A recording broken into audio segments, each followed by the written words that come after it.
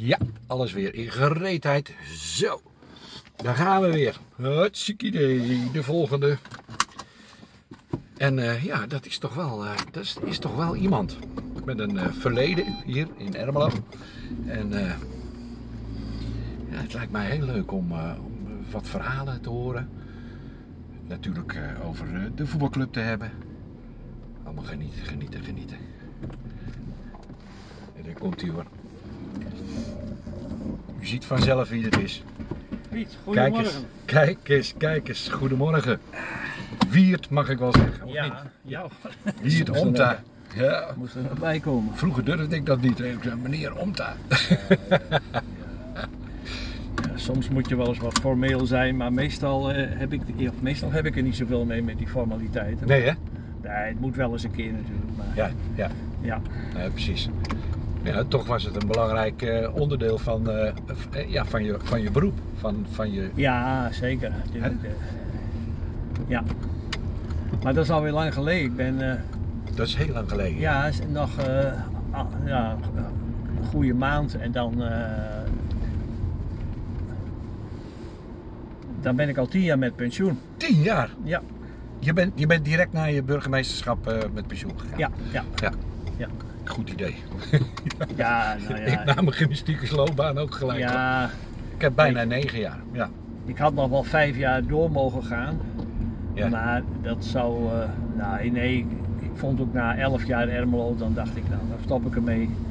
En ik had daarvoor natuurlijk ook andere dingen al gedaan, dus eh, ja. het is goed. Elf jaar? Wiert? Elf jaar en een Zo. maand nog zelfs. Ja, Machtig. ja, Nou, dat, nou, dat had ik toch echt niet gedacht. Elf jaar. ja. Elf jaar. Zo. Dan, eh, eh, eh, turbulente jaren? Of, of zeg je, nou, het is Nou. vrij ontspannen gegaan? Ja, ik vind dat het, eh, daar prijs ik me gelukkig mee dat het, dat het heel makkelijk gegaan is. Ja, het ging eigenlijk, nou vanzelf is het natuurlijk nooit zo, maar Ja. ik heb er altijd, kan er ook met plezier op terugkijken. Ja, En ja, het ging eigenlijk goed. mooi. Ja, mooi, want het kan ook anders. Ja, nou daarom en dat is, als dat gebeurt is dat toch verdrietig. Ja, Eh, Dat is dus heel niet leuk, nee Ja. zeker niet. Nee, dat lijkt mij ook. Maar eh, nee, ik ben mijn hele politieke en bestuurlijke loopbaan eh, altijd vrij gemakkelijk doorgekomen. Ja. Wat, wat heb je gedaan voor je burgemeesterschap eigenlijk? Nou, ik ben, ik ben natuurlijk thuis op ons akkerbouwbedrijf van mijn vader ben ik opgegroeid Ja, Flevoland hè? in Flevoland, Ja. in, eh, om precies te zijn, Ens Noordoostpolder. En ehm, dat heb ik overgenomen in 1975. En dat heb ik gedaan tot, eh, ja, in principe tot, tot 1999. Maar de laatste jaren waren al in maatschap met onze zoon. Omdat ik in 1994 ben ik burgemeester geworden van de Wieringenmeer. Ja. En daarvoor was ik al acht jaar wethouder in Noordoostpolder. Ja, ja. Dus eh, ik zeg maar, ik heb er vanaf eh, 86 heb ik de combinatie gemaakt van boer en wethouder. Waarbij je wel moet bedenken dat in Noordoostpolder, net als hier in Ermelo, was eh, het wethouderschap een fulltime baan. Dus Ja. ik had thuis was een medewerker die het eh, dagelijkse werk deed. En ja, uiteraard hield, was ik wel eigenaar van het bedrijf en hield daar toezicht op. Maar eh, ja. hij deed het werk.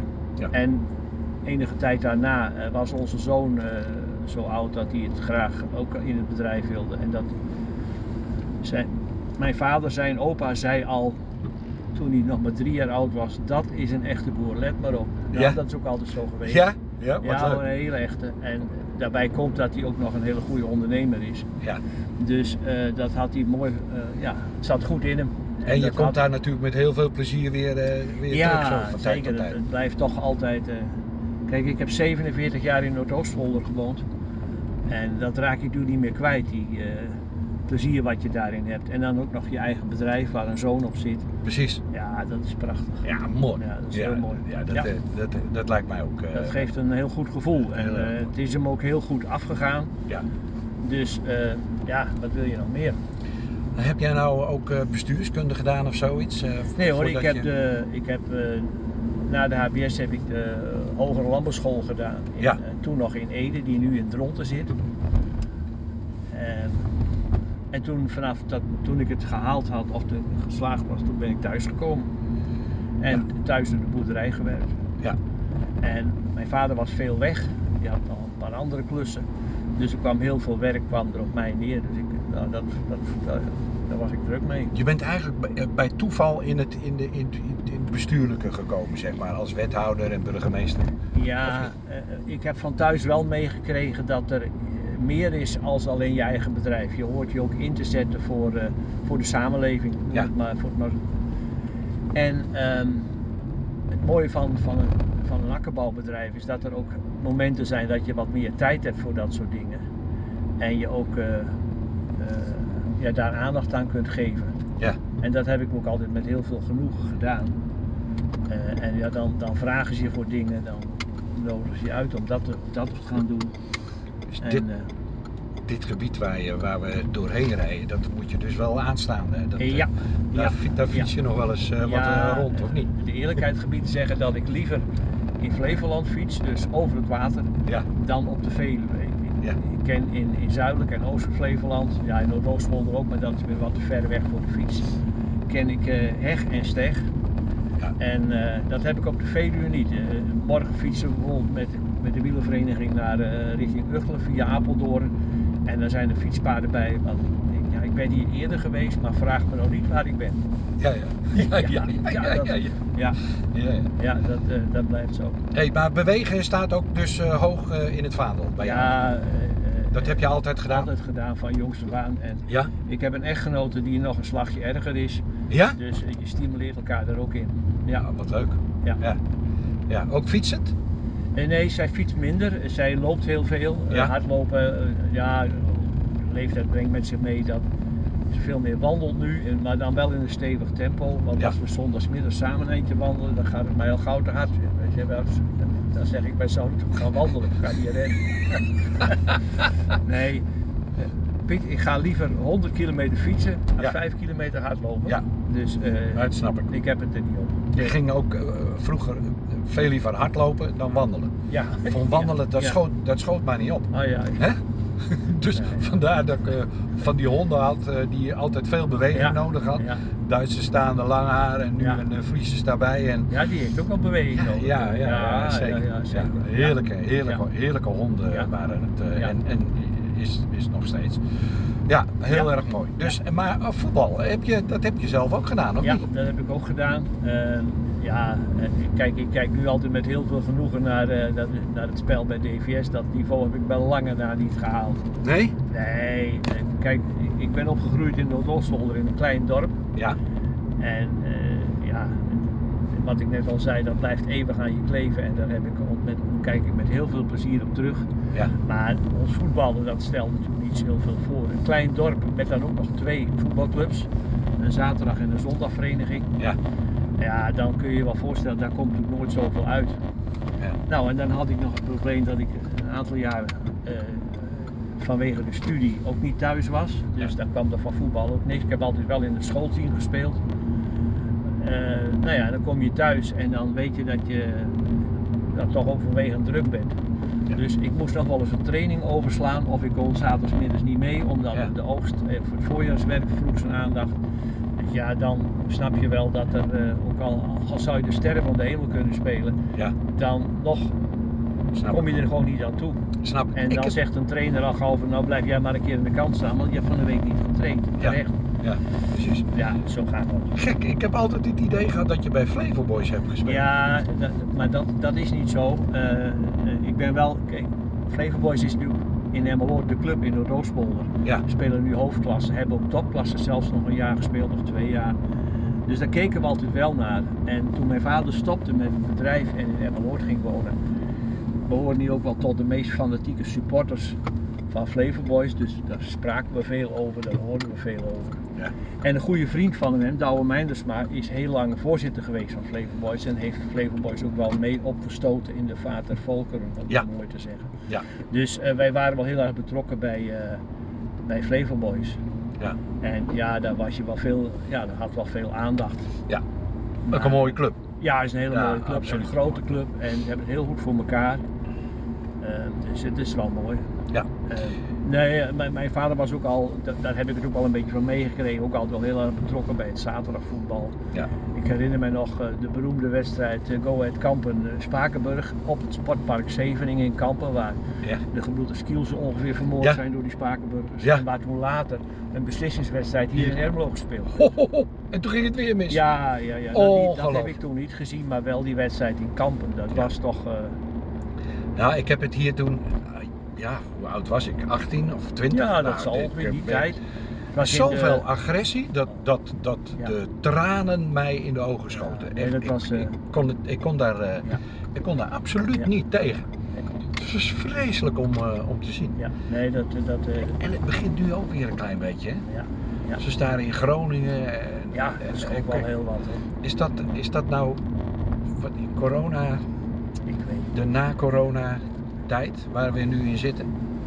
Ja, ik vind het heel moeilijk om daar een goede analyse op los te laten, maar, maar het is wel heel triest. En, en wat eh, Danny Buis van de week zei, ja, hij probeert het ook een beetje goed te praten, natuurlijk, de trainer van Groningen. Ja, Maar ehm, ja, er zitten een paar mensen zitten daartussen die, die jennen de boel op en anderen gaan daarin mee. ja, En, ehm, maar je moet ook, ook bij jezelf wel eens te raden gaan, althans dat geldt voor mij. Eh, neem nou zo afgelopen dinsdag eh, Ja. die wedstrijd tegen Noordwijk. Dan Ja. sta je met 2-0 voor, dan wordt het 2-1. ja. En dan zie je aankomen bliksem, het kan wel eens 2-2 gaan worden. Dan zit ik ook een beetje te bewegen op mijn stoel, als het ware met het spel mee te bewegen. ja. Dus eh, ik ga niet met mijn kussentje gooien. Nee, maar je toch... je voelt toch die spanning. Ja, En, ja. dan, en anderen slaan daarin misschien heel erg door. Ja. Dus, dus Ja, en komen tot de opmerkingen waar ze later eh, Ja, enorm veel spijt eh, Ja, van eh, ja. hebben. En, ja, dan, ik, want ik ben bij de, in de verlenging heb ik langs de lijn gekeken aan de overkant van het veld. ja. En dan hoorde ik wat opmerkingen richting de scheidsrechter. Nou ja, ik had ook iets van die scheidsrechters meer voor Noordwijk dan voor DVS. Dat idee had ik. Ik, ik moet dat af verslag geven. Ja. Mag ik dat eigenlijk helemaal nee, niet zeggen? Nee, dat, dat hoort Maar, maar ik had Nou ja. wel zo nu dan het idee van wat is Ja. dit? En, en Ja. nou ja, dat hebben natuurlijk meer mensen langs de lijn. En Ja. dan, nou, dan ontstaat er wel iets in je lijf van, potdorie, wat gaat hier gebeuren? Scheids, wat doe je nou? Ja, Maar ja, je, dat hoort eigenlijk niet zo. En Maar- je moet je in ieder geval gedijst houden. wat een pot. Ja, prachtig. Ik heb Echt. genoten. De bekerpot, hè? Ja, nou, daarom vond ik het ook wel heel mooi dat, eh, want natuurlijk, eh, uiteindelijk heeft Noordwijk ook heel veel kansen gehad en eh, nou, DWS was nog wel meer. Maar voor hetzelfde gaan verliezen met 3-2. Ja. Ja. Maar daar vond ik het ook wel geweldig hoor. En ook dat we de penalty-serie nog wonnen. Eh, nou, dat geeft die jongens natuurlijk een geweldige boost. Ja, enorm. Ja. Ja. Ik denk dat het voor het groepsbewustzijn Ja, een hele Ja, ja. goede avond is eh, En geweest. eh, wat, wat Peter Westlink, de trainer, ook toegaf, dat die jongens nu wel verantwoordelijkheid wilden nemen, maar dat hij toch nog voor de vierde en de vijfde penalty even moest praten met een paar spelers. Ja, ja. Uit Dus-. En ik, en ik Ja. vroeg, ik vroeg eh, ook nog even aan eh Tariq Evre. Ik zeg, eh Evre, jij stond zeker voor de vijfde pengel Ja. op, op de rol. Ja, zegt hij, dat Ja, klopt. maar dat hoeft u gelukkig niet meer. Nee, nee. Ja, Ja, ja het mooi. lijkt zo makkelijk, maar je moet het, dit is toch een beetje druk. Ja, zeker. En, ja. zeker. Kijk jij nou nog met een beetje trots of weemoed terug naar jouw eh, tijd in de TC? Of zeg je nou, Ja, dat heb ik wel als een hele mooie tijd ervaren. Daar heb ik eh, eh, wel heel erg veel eh, plezier aan gehad. ja, Ja, dat was, het, was geen, het was geen gemakkelijke tijd. We hebben, oh, nou ja, althans, ja nee, het was niet altijd even makkelijk. We hebben wel wat soms een beetje turbulent, ja. Ja, ja zeker. Ja. Eh, maar ik kijk er, eh, en, en, en eerlijkheidshalve, eh, mis ik het ook wel een beetje. Ik vind wel, eh, ja, ik vond het heel mooi. Ik heb genoten. Ja. En eh, ja, misschien hadden ze helemaal niet bij mij uit moeten komen om, om voorzitter van de TC te worden. Maar er was toen ook al wat, wat reuring, om het maar zo te zeggen. Ja. En, eh, nou ja, ik, ik, ik had het genoeg om er een klap op te mogen geven. En dat, ja, dat is zo gegaan zoals het gegaan is. Ja. En dat was op dat moment ook wel goed. Het speelde in de tijd van Henny in het Hof. Ja. Die eh, natuurlijk al heel lang trainer was bij DVS. En het in mijn beleving uitermate goed gedaan heeft. Ja, fantastische Ja, trainer. echt hoor, Ja. klasse. Maar soms zit je te lang op een stoel en Ja. op een plek en dan moet er eens een keer wat anders gebeuren. Ja. We hadden het net over dat ik na 11 jaar ook zei, ook was ik 65, maar na 11 jaar Ermelo zei, nou, nou, moet er, nou stap ik toch op. Er komt een keer slijtage in je werkzaamheden, in je, in je, rol of in je positie en dan moet je een keer opstappen. Dat gold voor Henny ook. Ja. Maar hij heeft nu DVS wel echt op een hoger plan gebracht. Absoluut. Goh, Ja, hij heeft de basis gelegd. zeg ja voor zeker. Waar we nu Dus, eh, eh, eh, staan. al- Alle lof voor Henny. Ja. En ik, toen wij op, in afscheid namen van Ten Berge, nee van, nee van Ten Berge was dat zeker, toen wij met Leushuis kwamen. Ja. Toen hebben wij ook echt aan, eh, aan Henny in het Hof gedaan van, goh, Henny. En dat had hij ook nog wel willen doen, maar hij zat toen met zijn dochter die heel, heel hoog op een hoog niveau schaatst. Ja. En daar wilde hij ook veel tijd aan besteden. Dus dat was zijn argument. Of dat het echt argument was, weet ik niet, maar dat doet er ook niet toe. Ja. Eh, dus hij had veel credit bij DVS. Ja. zeker. Ja. Hoe, eh, hoe zie jij de, de selectie van nu? Zeg je van nou, wij horen absoluut in het linkerrijtje thuis qua selectie, qua niveau. Ja, ik denk het wel. Ik denk dat wij met deze ploeg eh, in het linker rijtje horen. Zeker ook met de versterking van een Annie Cora er nog weer bij. Want Ja. dat is natuurlijk onze makker op dit moment. Ja. Wij, wij scoren moeilijk Te weinig. en te weinig. Ja. En ik denk dat we eh, te veel eh, ons op de aanval richten. Eh, En dat snap ik ook wel met, met de aanvallers die we hebben. Die willen allemaal naar voren, die willen allemaal naar het doel toe. En die Ja. willen, maar je moet soms ook even terughoudend spelen. Ja. Nou, de laatste twee wedstrijden zit er een kentering in, hè? Precies, nou Ja. dat, daar wou ik ook naartoe. Dat vind ik Ja. wel heel goed van de trainer. Dat hij dat toch even, ook heeft ingezien. Jongens, even dimmen. Eh, Ik heb hem tijdens het interview eh, natuurlijk even een Ja, aanwijzing gegeven. ja, ja, Dat heel goed, Piet. ja, mooi. Maar ja, dat, dat, dat, dat was toch wel belangrijk. Want eh, je kunt wel met ongelooflijk veel geweld aan willen vallen. Maar ik heb ook wel eens het idee dat de tegenstanders dat precies weten bij DVS. Je, Ja. je, ze, ze vallen aan en eh, nou, wij vangen ze op met een extra mannetje. Dat Zeker. zag je bijvoorbeeld bij, bij Sportlust. Sportlust. Goh, die gingen, hadden er vijf man staan. En van die grote kerels ook ja, nog. Ja, Dus eh, ja, en dan doen ze een uitval en dan toch een doelpunt. Ja. Omdat wij ook te veel naar voren hangen. Ja. En daardoor ging het tegen Noordwijk weer beter, want Ja. Noordwijk wilde natuurlijk ook initiatief nemen. Ja, ja. En dan, eh, ja, dan krijg je zo'n mooie pot, hè? Ja, Geweldig. ja dat, was, dat was mooi. Maar dat zal ook per tegenstander wel verschillen. Maar, Ja. En dan is het natuurlijk aan de trainer om daarop in te spelen. Kijk, we hadden het net over de TC en wij zeiden in de TC, in de TC altijd een ijzeren stelling. De TC maakt, eh, stelt de spelersgroep samen. Maar het is de trainer die het elftal samenstelt. Ja, ja. En eh, dat moet je er ook vooral in houden. En natuurlijk zijn er, moeten er gesprekken zijn tussen eh, de trainer en de TC. eh, overleg van, goh, hoe kijken we er tegenaan? Wat kunnen we zus, wat kunnen we zo? Ja. Maar uiteindelijk is de trainer degene die zegt, en toch ga ik zaterdagmiddag met deze elf het veld in. Zeker. Ja. Zeker, ja. Ja. hey, Wiert, doe, doe jij verder nog buiten natuurlijk het bezoeken van voetbalwedstrijden Ja. en lekker sporten? Zit je nog ergens in een, in een bestuur of zo? Ja, Of, ik eh, ben nog eh, voorzitter van de watersportvereniging. Ja, Eh, heel veel mensen weten niet dat we een watersportvereniging en dat we überhaupt een haven hebben in Ermelo. Want het is natuurlijk aan de overkant van de A28 Ja, op Strandhorst. ja. Maar ja, daar is ook de watersportvereniging gevestigd. Waren we hier net ook niet? Ja, Het is mooi hier, Piet. Dus, eh, Mooie rondjes. ja, prachtig. Ja. Ja, En, maar ga eh, verder. Dus eh, daar ben ik nog, nog druk mee. Ja, we krijgen wat renovatie in de haven. Daar overleggen we veel mee met de grote haven. Wij pachten een deel van de haven Ja, als vereniging van uh, Jachthaven Strandhorst. Dus dat doe ik nog. En ik ben nog penningmeester van de Rotary Club en van de stichting die daarbij hoort voor goede doelen. ja, ja. En dat zijn de twee dingen die ik nog doe. ja ik zag je laatst eh, een fotootje in Ja, daar hadden we eh, een ja. actie voor Ghana en de halve marathon Ermelo. Ja. Voor De stichting is zelfs de halve marathon Ermelo. Die doneerde 500 euro voor eh, dat project in Ghana. Ja, ja. En eh, nou, dat was heel leuk. Goede zaak. Ja, Ja. ja. Ik ben Ja. meestal vind ik dat de voorzitter dat moet doen, maar de voorzitter was druk met andere dingen. Nou ja, ik dan haal ik, kom ik het geld ophalen, moet ik ook starten. Dus, eh, Ja, ja. ja. Eh, van die watersportvereniging was natuurlijk eh, Wim Schuur eh, ook lid. hè? ja, ja. En, Ja. wijlen, Wim Oh, Schuur, ja, dat is toch ja. vreselijk. Hè? Ja, het is heel erg.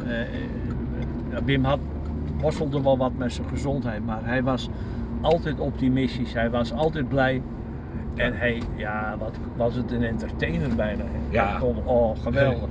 Dat hebben we van Wim genoten. Ja, enorm. Ja, Enorme entertainer, ja. want hij, hij verzorgde bij de watersportvereniging ook de, wat wij dan de evenementen noemden, maar zeg maar de, de vergaderingen of de bijeenkomsten voor de leden over allerlei andere zaken als een officiële vergadering. Ja, Eh, die we in de winter vooral hielden. En ook in het voorjaar, in het najaar en een slot en een eh, begin bijeenkomst met eh, lekkere hapjes en muziek en dat soort dingen. ja, Ja, dat was bij Wim in eh, hele goede handen. ja. Ik zal zelf ook rij mee met, met DVS TV, met, met, met Wim dan in dit Ja. geval. Dat zal ik ook nooit eh, meer vergeten. Nee. Natuurlijk kwam de, de, de accordeon er ook weer even Ja, bij. ja, ja. Geweldig. Nee, maar ik, ja, ik herinner me dat nog dat we een keer op een, eh, was eh, nadat we thuis gewonnen hadden van VVOG geloof ik. Ja. En eh, Wim zijn trekorgel eh, in, in, in, in, de- in het clubhuis, in de kantine en, en, en Tukker erbij en, en, hoe heet het. eh, Ja. Mark. ja, geweldig. Wat een sfeer weten ze dan te creëren. Ja. Ja, dat, is, dat kijk je altijd weg. Ja, dat is geweldig. Dat is geweldig. Ja. en dat, ja. Mooi. Ja, hartstikke mooi. Ja, ja we, hebben, we, hebben een, eh, we hebben een mooie club. Ja, heel mooi. Ik, Oh. eh, ik heb ooit tegen Jo Bakker gezegd, wijlen Jo Bakker. Ja, Joop, ik had nooit naar Ermelo gesolliciteerd als DVS geen hoofdklasse had gespeeld. ja, Joop trots natuurlijk. ja, Ja, dat jaar toen ik kwam, het jaar daarna vlogen ze eruit naar de eerste klasse. Maar goed, dat is wel weer hersteld. ja. Maar het is sowieso een hele plezierige, prettige, warme, eh, gezellige. Ja, nee, Ja. het is- en we spelen op een hoog niveau. Dus Ja. dat is ook genieten om naar te kijken. Eh, ja, nee, Mooi, prachtig. een, mooi, een mooi niveau. Ja, heel En mooi. we hebben natuurlijk afgelopen dinsdagavond weer even mogen ruiken aan dat tweede divisieniveau. Ja, Zou dat er eh, ooit in zitten? Zijn we daar echt de club Nou, voor? Ik, ik denk dat we. We komen fysiek nog wel eens wat tekort. Ja. Ehm, toevallig zat ik vanmorgen eh, in, de, in die krant die uitgegeven is voor de, de derde divisie te lezen. En daar zegt Speelziek, de trainer van Sparta Nijkerk, dat hij denkt dat zij, hij met zijn team naar de tweede divisie zou kunnen promoveren. Ja. Dat zal allemaal blijken of dat wel of niet lukt. Ja. Maar hij zei ook van wij komen, speeltechnisch zijn we goed, maar fysiek komen we nog wel iets tekort. En dat vind ik bij DVS ook. Ja. Als je, zag het tegen Harkemaster Boys, je zag het tegen Sportlust. Eh, dan, dan missen wij toch een beetje de, de, de fysieke kracht om eens even wat door te drukken. Dinsdag konden ze het wel opbrengen Ja. tegen Noordwijk. Ja, Zelfs een type als Lars Dekker, die ging er vol in. ja. Dat vond, dat, daar heb ik echt zo van genoten. Ja. Dus we kunnen het wel. Ja, eh, zeker. Maar dat is dan toch, zeg maar, over het gehele seizoen vind ik dat we dat te weinig brengen. Ja. Ehm, ja, eh, Lars is een jongen van de club. Ja. En, en, en hij viel zo ontzettend goed in. De Ja. rust die hij uitstraalde en Ja. ook de, zo van, maar dat, dat zou hij dan elke week moeten laten zien. En dat, Ja. is, dat is voor hem toch moeilijk. Ja, Ik wil daar niet over oordelen, want Ja. wie ben ik? Maar Ja, eh, ja. ja, dat, dat zal hij zelf denk ik ook wel weten, dat Ja. hij dat net even mist. ja zeker. Maar ja, eh, je kunt niet alles hebben. Ja. En, eh, ja. Nee, maar ik denk dat we wel, wel, wel best wel ver kunnen komen. Maar ehm, één, eh, we moeten er hard voor werken, dat blijkt wel. Ja. En eh, scoren is nu belangrijk, maar ik, ik denk dat ook de trainer af en toe goed na moet denken hoe zet ik het vandaag tactisch neer. Ja. Want dom aanvallen, dat heeft geen succes. Ja, ja. Kijk je ook nog wel eens naar EFC of niet? Nee. Nee, nooit. nooit. Nee, nou ik ook niet nu- op een eh, trainingsavondje of zo? Nee, of eh, nee, dat je nee. er langs loopt? Nee, ik, ga, ik, had maar, ik, ik neem altijd voor om nou, uiteraard zaterdags naar de DVS te gaan kijken. Ja. En dan gaan we, heet het, eh donderdagavond even naar de training. Ook een beetje voor de gezelligheid, even een praatje maken. Ja. Ik heb de tijd er ook voor. En, eh, dus eh, dan ga ik, dat doe ik dat graag. Ja. Maar ik ga niet, ik kom ook nou, heel enkele keer bij FC Horst. Maar dat vind ik ook zo'n, ja, gewoon een gezellige club, leuke mensen. Ja. Ja, dat weet ik nog wel. In de beginfase van je burgemeesterschap moest je dat natuurlijk een beetje verdelen. Ja, dan, dat, ja, dan hoort dat zo. Maar ja, de eerlijkheid gebied te zeggen dat toch mijn hart al snel bij, bij DVS lag. Eh, Ja. Dat zullen mensen ook wel gemerkt hebben. Want ja, ik vond het gewoon. eh, ik, ik weet nog dat de eerste wedstrijd die ik zag toen ik eh, hier net woonde, toen speelde Idi nog bij, Ja. bij DVS. Oh, heb je die tijd ook nog Ja, meegemaakt? ja, ja, Oh, ja, ja, ja. Ja, En, dat was maar een voetballer. hè. Oh, daar zat ook zoveel. Technisch was het al, al een hoog niveau, vond ik. En dus ik er echt. die doet me er een beetje aan. hè. Ja, die heeft dat wel een Die beetje. heeft dat ook hoor. Ah, die was wel van een hele bijzondere klasse, vond ik. Oh, Althans ja. voor het niveau van DVS. Ja, Ja. zeker. Ja, bijna het Roemeense elftal gaat. Ja, joh, dat was echt heel goed. Ja, dat was echt heel goed. Ja, dat was eh, mooi. Ja, nou, het is, al, het is alweer voorbij. ik Ah, zit alweer een beetje aan mijn eigenlijk, hè. 25 minuten. Ik vond het eh, heel leuk. Ik ook. Ja, Gezellig. ik heb weer een mooi stukje van Ermelo gezien. Wij wonen hier sinds kort aan deze kant van Ermelo, maar Ja. eh, met heel veel plezier. En, eh, het is iets verder fietsen naar DVS, dat is wel naar. Ja, ja precies. Ja, want ik moet er ook altijd voor naartoe voor als als we met de wielervereniging gaan fietsen. Ja. Dus starten we altijd met DVS. Ja, ja. Dus, eh, Nou, het is een mooi plekje. Ja. Het is een mooi plekje, ja. Ja, Piet, tot morgen denk ik. Bedankt. Ja, hoi. Oké, daar gaan we er weer voor. Ja. ja. Ga je goed? Hey, doe. Bedankt hè. Zo. Oud-burgemeester Wiert Omta. Toch eh, echt wel een eh sportfanaat hoor. Ik eh, vond het leuk. Ik hoop dat u er ook van geniet. Doeg.